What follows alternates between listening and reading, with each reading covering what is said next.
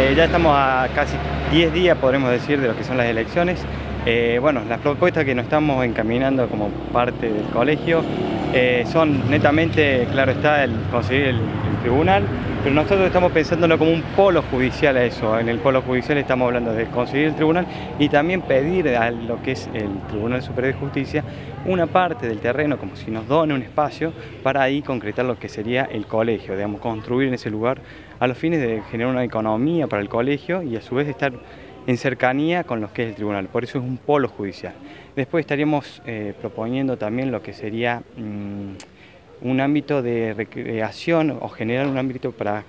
eh, buscar lugares de recreación por parte de los colegas. También estaríamos proponiendo eh, a los que son los jóvenes abogados, tengamos en cuenta que los jóvenes abogados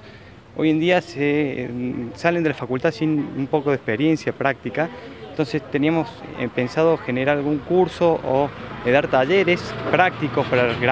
y gratuitos, ¿no es cierto?, para los jóvenes colegas, para que ellos puedan aventurarse y con ello poder em,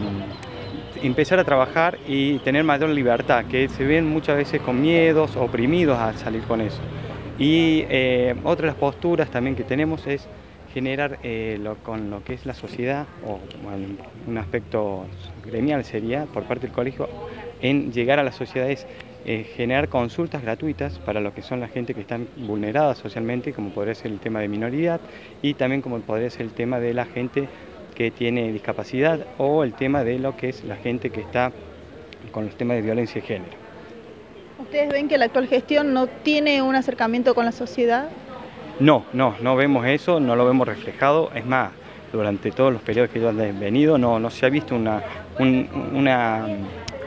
una relación, sociedad y, el colegio de abogados. Eso ha generado un, desperjuicio, un perjuicio en verdad, para la imagen del, abogado para con la sociedad.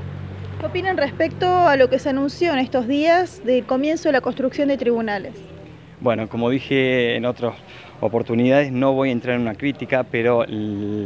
a ver, esto se viene gestando hace mucho tiempo, mm, yo podría decir desde los 90, y actualmente esto una, creo una intención netamente política, porque salir a hablar de esto en dos semanas, yo creo que no va a ser la forma. No obstante, eh, ellos han hecho publicaciones en el 2015, habían dicho que en el 2016 se iba a empezar a construir y que en el 2017 se iba a terminar. Así que si venimos y seguimos de esta forma, yo creo que vamos a terminar en el 2025 ustedes tienen planeado, ¿no? Insistir con este tema y que también se concrete. Seguramente sí, sí, es una de las, una de las, eh, una de las principales cuestiones que queremos resolver. Pero nuestra estrategia va a ser otra, no queremos llegar